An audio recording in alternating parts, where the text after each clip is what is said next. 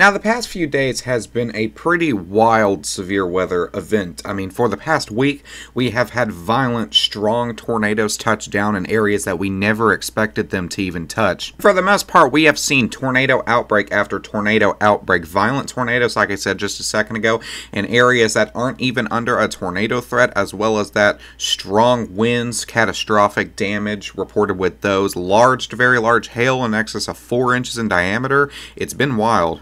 And with a lot of these areas, the Storm Prediction Center highlighting lower risk that shouldn't even be seeing a bunch of these storms, they're seeing a lot of them, and it's it's absolutely sprawling out of control over the like the past week, two weeks, already 100% over the amount of tornadoes that we're supposed to be seeing in this time frame, to the point that we are second in the most tornadoes recorded uh, for the month of April in history. And you may be thinking, hey, we got a chance to take a break. Let's take it. We do not. Multiple rounds of severe weather future on the way. Let's go ahead and get right into it.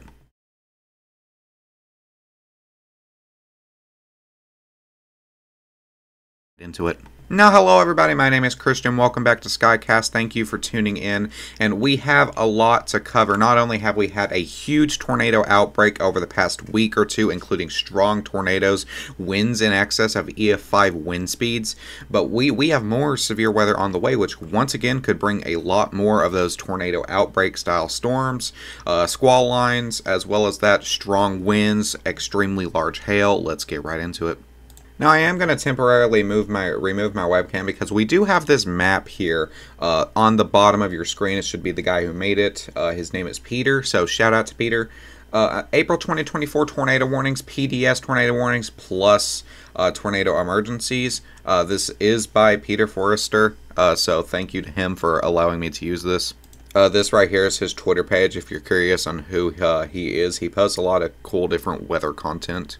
Uh, and you can kind of see a bunch of all these tornado warnings uh, that were issued in the uh, month of April 2024, and you have tornado warnings all the way over here from Wyoming, uh, Nebraska, a ton of them, and uh, portions of Missouri uh, into Iowa, a bunch of them into Texas, uh, Oklahoma, and this kind of shows you how active Tornado Alley can be because you can see you have random tornado warnings over here in areas like you know Tennessee and Kentucky uh, down here into Florida, Georgia, Alabama, and then you have just a bunch of these clusters, tornado emergencies, uh, PDS, uh, strong tornadoes, violent tornadoes uh, in this area. Uh, so that kind of just goes to show how active Tornado Alley can be. Uh, we did have a, a, a decent tornado outbreak, not in the Kentucky area, Indiana, Illinois, into portions of Ohio as well as that some larger tornado warnings uh, over into portions of West Virginia. Uh, but for the most part, the Central Plains has stolen the show for this. And now if we're looking at all the reports that we're seeing right now, of course we have all these areas over here where we're seeing a lot of those wind events, a couple of those tornado reports where we've seen that little outbreak here in the Kentucky area. Uh, Tennessee, uh, Tennessee, we had some tornadoes uh, down into portions of Alabama, Georgia, Florida. We have some tornado reports as well. The main store of the show, though, obviously is going to be over here towards the Central Plains, where we had a big tornado outbreak, obviously. Uh, and this was through portions of anywhere from Iowa uh, into uh, Nebraska is where we've seen that first tornado outbreak with an enhanced risk. Uh, yes, there were three violent tornadoes on the ground during an enhanced risk, and that kind of included more or less this area right here where we're seeing some of those uh, reports uh, of strong tornadoes and damage uh, from theirs as well as that not just the tornadoes but we do have uh, strong winds hail in excess of 1 1.5 2 inch hail up here in south dakota 2.5 inch hail. Uh, and then as we come down here we have that day two tornado outbreak and this included uh, a lot of kansas uh, into oklahoma texas uh, and then portions of Arkansas and Missouri. Uh, there was a good amount uh, of tornadoes on here, as we see uh, the Sulphur tornado, uh, as well as that the Ardmore tornado and all that area down here. Uh, and then back here, I don't have the reports open, but we do have some more tornado reports in this area from yesterday, where we've seen a 5% tornado threat highlighted.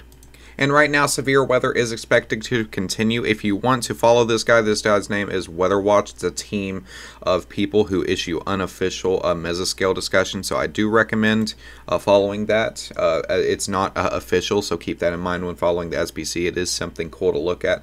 And we have a higher risk uh, through portions of generally uh, Oklahoma areas. Uh, for severe weather for the next uh, few days. Uh, this uh, does stretch anywhere from Chicago down into Texas, but severe weather potential still expected to continue in this area. Let's go ahead and cover that.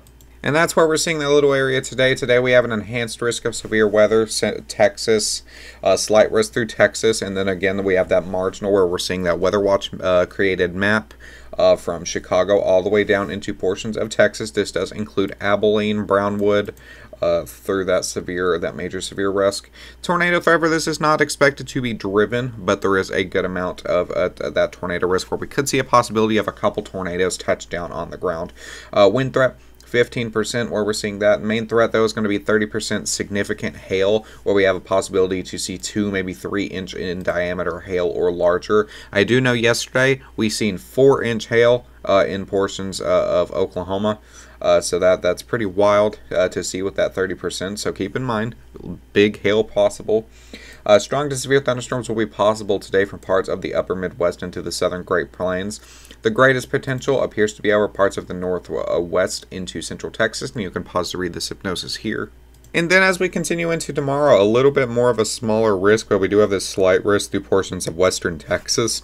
Uh, marginal risk stretching from the panhandle up into portions of Nebraska, Iowa, those areas that were previously hit. General thunderstorm stretching for most of the central uh, Midwest into the eastern United States. Tornado threat, once again, not expected to be too wildly driven. Uh, it is going to be mainly a tornado driven threat, though, where we do see that 15% wind, 15% significant hail. Uh, tornado, once again, possibility to see a couple tornadoes touch down here. Uh, scattered strong to severe thunderstorms will be possible uh, Friday afternoon into early Saturday morning across portions of the central slash southern Great Plains. And if you want to, you can pause to read the hypnosis here as well. And then as we get into day three, once again through same areas, portions of New Mexico into Texas, Oklahoma, uh, we do have this area of severe weather marginal risk. The probability of this being anything much is just a 5%, so not very high, uh, but we will continue to watch that to see what comes of it. Uh, scattered storms, some possibly severe, will be possible over parts of the southern high plains, and you can pause to read the hypnosis here. And now, even though we have kind of a lower level set of storms where we're seeing not much strong with that slight, that marginal risk after today's enhanced, uh, we do have this 15% coming right back at us on day five. This is for I had to look at my date again. This is for Monday. We do have this 15% confidence of severe weather through portions of Texas. Uh, this does include multiple other states, anywhere from central Oklahoma up into Nebraska, Iowa, uh, Missouri. Uh, and this is possibly could be somewhat of a more significant severe event where, where we talk about on this channel a lot. Uh, anywhere from the day 4 through 8 where they are able to highlight it that far out could possibly uh, turn into a severe weather event. Basically, what this is going through, if you would like to read through, is a, a short wave will develop across uh, western uh, portions of the United States.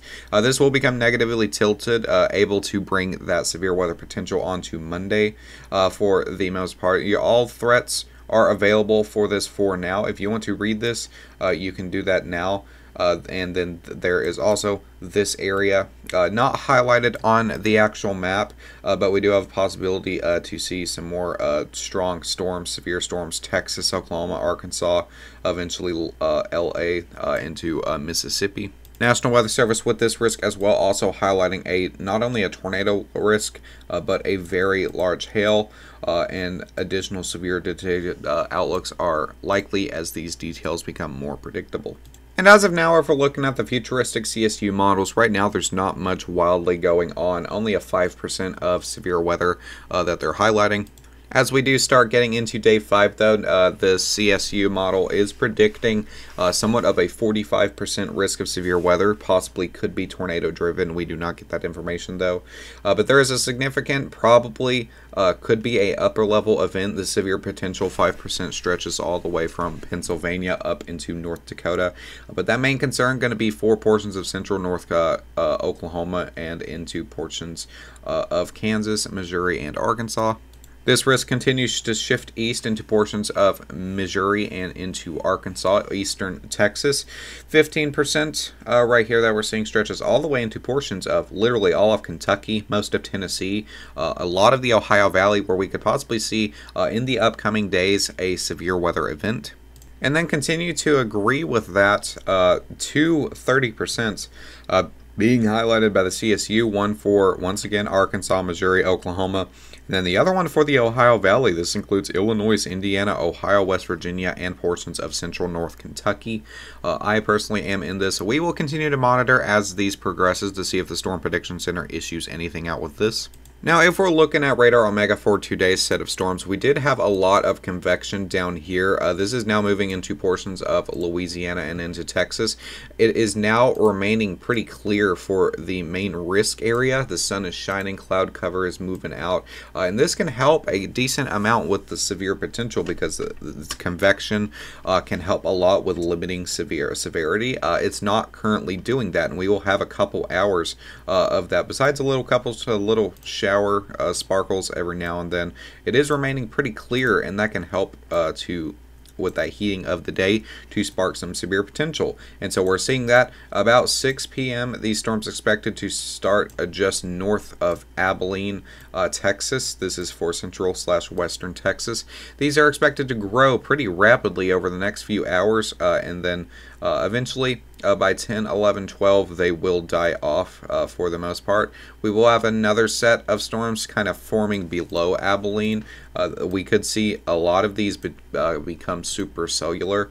Uh, and then this can turn into a nocturnal threat for not only large hail, but damaging winds and a couple tornadoes possible as well. by 4 a.m. though, uh, this is Eastern Standard Time. Everything out of the Abilene area uh, will remain, uh, will kind of have died off for the most part.